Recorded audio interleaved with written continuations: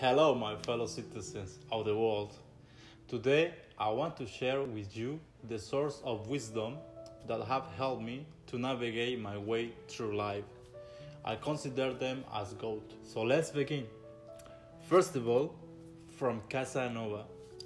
He taught me the importance of diplomacy regarding men affairs, as well that besides all the pleasure found in libertine, one must acknowledge that what really matters is to love and to be loved with no regrets.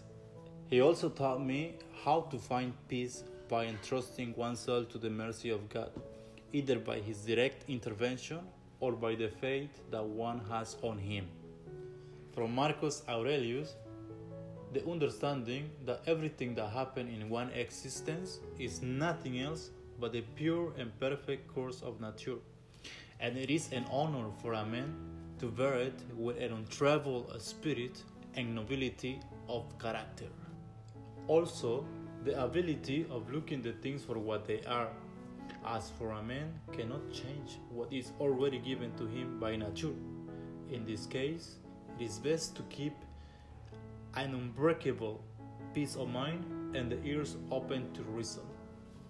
And that is only truth that death smile at us all, but all a man can do is to smile back. And finally, from Donald Trump, the magic in thinking big with no limitation according to one's power of spirit. That if a man never give up in his ambition, he can become anything his heart desire.